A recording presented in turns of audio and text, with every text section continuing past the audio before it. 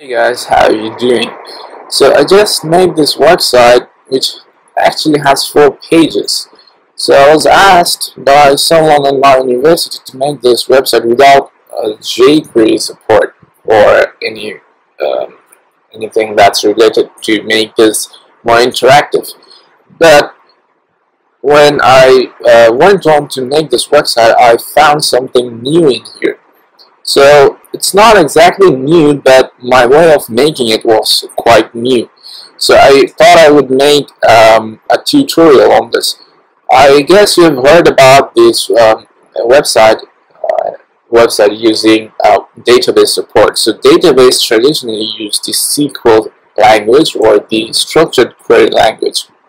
And there is another newer form nowadays we see it's called the NoSQL. So if uh, NoSQL is being implemented by the MongoDB team and there is also the CouchDB team. So they use the JSON data format to implement the NoSQL database support.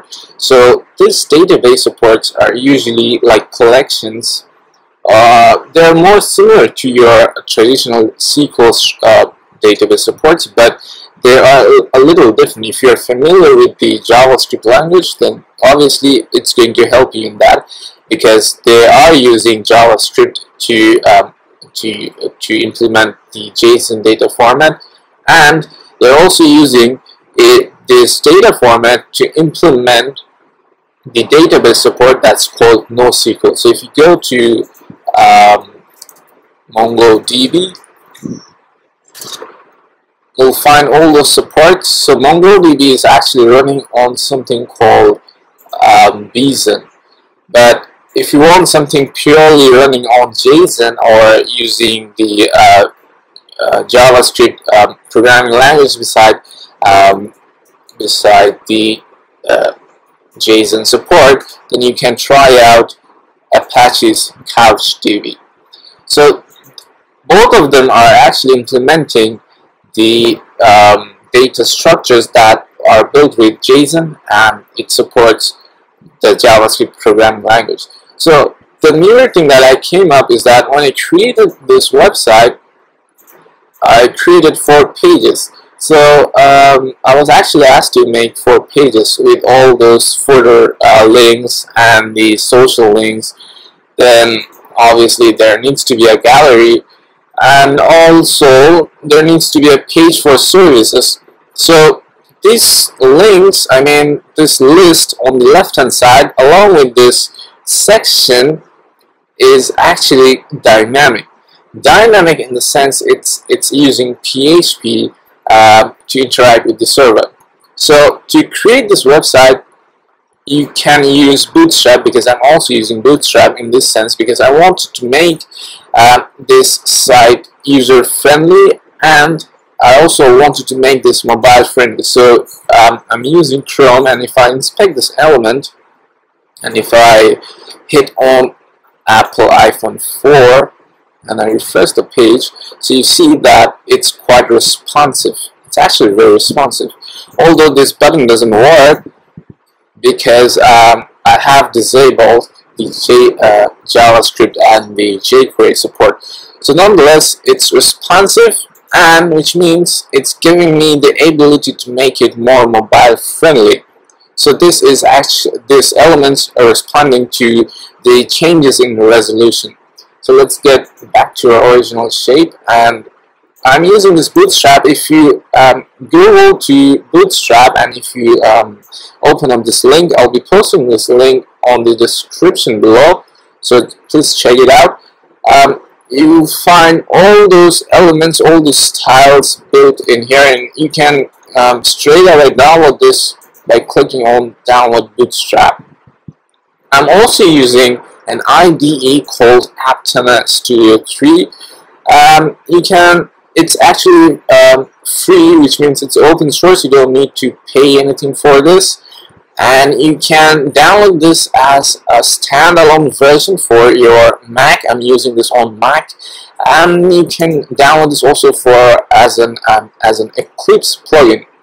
So you also need um, in Mac you do have PHP support you can actually uh, see that that by opening up opening up your terminal like this and if you write PHP it will take some time. Um, let's write help. So yeah. When you see all those um, flags, all those options, it actually means your PHP support is enabled in your Mac.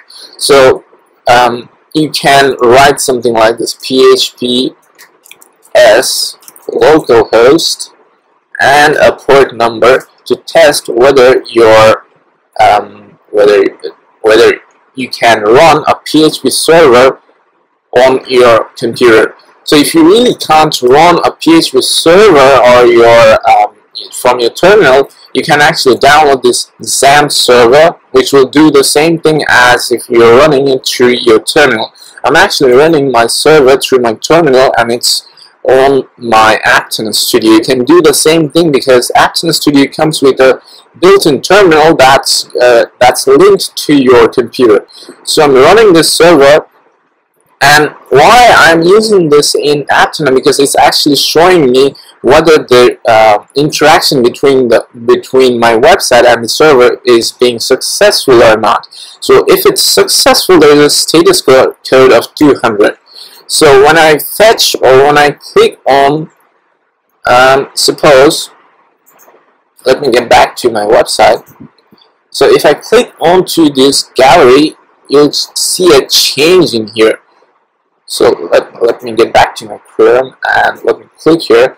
So when I click this, it's actually bringing up all those pictures, all those resources from uh, somewhere else. I'm actually bringing up these pictures from the internet. I'm loading them live from the internet and I'm also loading these icons, these social links, uh, icons of the social links from my directory. So if I get back to um, if I get back to my uh, uh, terminals server, then there is this gallery. I clicked on this gallery. It's bringing up the gallery.php page. You can see that in here, gallery.php page. Then it's uh, bringing up the CSS style and the style that I created. It's also bringing up the um, it's also bringing up the images images these are actually images images for the social links so this it's uh, because it finds those resources the Facebook's um, icons the page the gallery the PHP, page and also these style sheets it's actually telling me that uh, that the request was successfully processed which means the status code 200 means it's a success. But if I get something like um, maybe if I change it to something uh, so, something to a resource that doesn't exist maybe if I create a portfolio if I provide a portfolio link portfolio PHP this resource was not found it will show you something like a status code of 404. 404 or uh, it means uh, 404 um, it actually means that your request was invalid which means there is there's uh, there was no such thing and there was no such file as portfolio.php so it was the request was unsuccessful my website um, my server is actually looking at my website and it's looking into the folders. So when it doesn't find the specified file like this portfolio.php in here, it's going to uh, send me a not found status code. In on my browser, I don't see any status code because it's it's made for users to understand a status code of 404 wouldn't mean anything to a user. It would mean something to a developer or a programmer, but to uh, to a general user to a general visitor who visits your site wouldn't understand what's the meaning of 404. So uh, it has been translated into a human language and it's telling me that the resource was not found. But in my server, when I look in the back end, it says invalid request and it throws a status code of 404 which means the resource was not found when the resource or the page is found it will throw um, a, st uh, a status code of 200 so that's why it's more of uh, it's more advantageous to run a server inside your terminal because you get to know what's going on or what's what what was wrong with your requests. So